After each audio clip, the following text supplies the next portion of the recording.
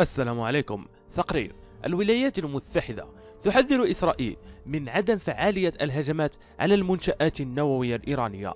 إن لم تكن مشتركا في القناة فاشترك وإذا كنت من المشتركين لا تنسى الإعجاب بهذا الفيديو.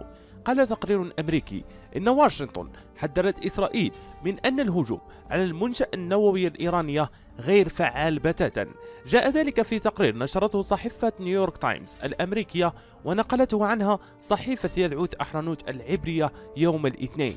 وتزعم المخابرات الأمريكية والمفتشين النوويين الدوليين أن طهران تمكنت بسرعة من تحسين المنشآت النووية الإيرانية التي تعرضت للهجوم من قبل إسرائيل والتي كانت تأمل في تعطيل إنتاج أجهزة الطرد المركزية وتأخير وصول إيران إلى القنبلة. وبحسب المصادر التي تحدثت إلى نيويورك تايمز فقد قام الإيرانيون بتركيب آلات جديدة يمكنها تخصيب اليورانيوم بمعدل أسرع بكثير. وصف مسؤول أمريكي كبير برنامج إعادة تأهيل المنشآت النووية الإيرانية بأنه إعادة البناء بشكل أفضل. ووفقا للتقارير حذرت الولايات المتحدة إسرائيل من أن المناقشات التي جرت خلف الكواليس من أن الهجمات المتكررة على المنشآت النووية كانت مرضية من الناحية التكتيكية لكنها أدت في النهاية إلى إنتاج أو نتائج معاكسة.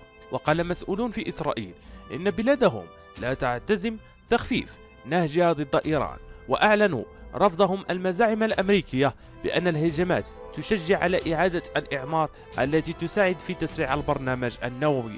وقالت الصحيفة إن النهج الإسرائيلي القاضي باستخدام القوة ضد البرنامج النووي الإيراني يتعارض مع برنامج الأمريكيين الذين يؤيدون الدبلوماسية. ويأتي هذا التقرير على خلفية قرب.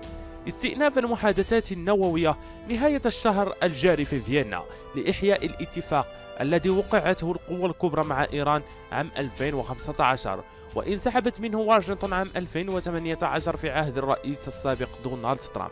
في الأخير إذا كنتم من المهتمين بهذه النوعية من الأخبار لا تنسوا الاشتراك لتتواصلوا بالجديد وشكرا.